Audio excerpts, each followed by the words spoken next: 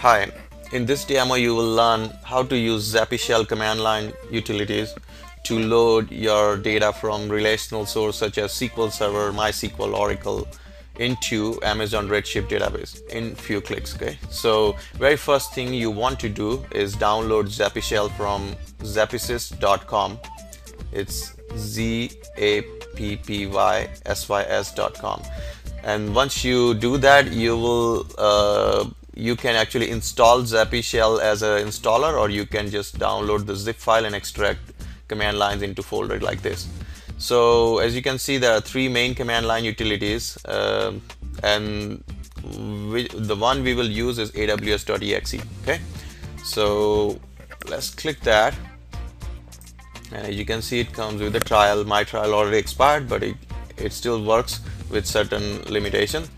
So I'm just gonna click uh, Redshift. Okay, hit enter, and as you can see, my context changed to Redshift.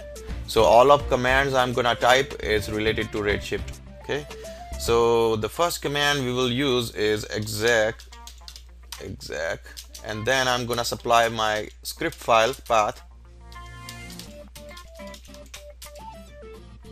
All right, Redshift import from db.txt all right hit enter. And we're gonna see. All right so what is happening right now is actually taking all my SQL Server data creating all the files for me. It's compressing all the files. It's uploading to Amazon S3 and then at the final stage it's calling the copy command on the redshift side and all the stuff is already already taken care for me. So as you can see in the summary it basically tells you how long each step took okay? So you can figure out my most of time went into uploading the files. Uh, so depending on network bandwidth this is parallel upload process. Uh, you can always customize number of threads you want to use. But uh, yes in few seconds it's it's done right? So now let's look at the actual command. So I can go to my example commands here. And this is what actually looks like to import data into Redshift. So you can this is the custom scripting file uh, for ZappyShell so you can use comments in this and then you can actually put each command each option into new line like this okay? So as you can see we use a SQL query to extract the data. We specified how many records we want in each file. All the other options like a staging path. What is my target table name in Redshift? What is my staging area on the S3 okay. I want to truncate my target table before load log file the region of my S3 so they make sure your S3 region is same as your Redshift cluster okay? Otherwise you're going to throw you get error. So and then your access key secret key for Amazon S3 your source connection string. So depending on what source driver you use and you can refer to the help file for this. So in this case I am using ADO.NET driver for MS SQL so my my uh, connection string look like this. And then it's a final connection string format for my redshift. So as you can see the host is your redshift cluster fully qualified name look like this. Then your port number your database name user id and password for redshift cluster. Okay? So that's it. All right now let's look at how to import data from actual files so you may have uh, flat files already uh, exported somewhere and you want to load those uh, files into Redshift. So I'm gonna show you that example here too. So here's the, my example.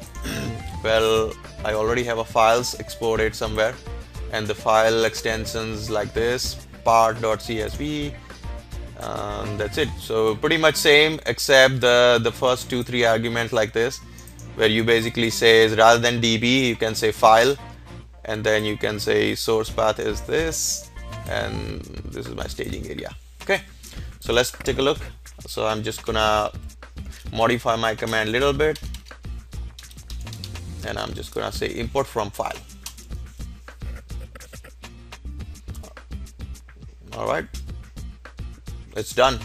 So yes in few seconds as you can see it actually use my files and actually compressed before uploading them right? So you're gonna save huge bandwidth and it's gonna be much much faster because compressed file is several times smaller than the raw file.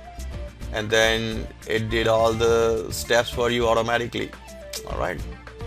Uh, one more thing I want to show is let's say you want to export files uh, for whatever reason right? So you you you want to export files from your database system. You can always use this uh, utility called db.exe and what it will do you can say exec and then you specify your script file path. And then let's look at the example. It's called data export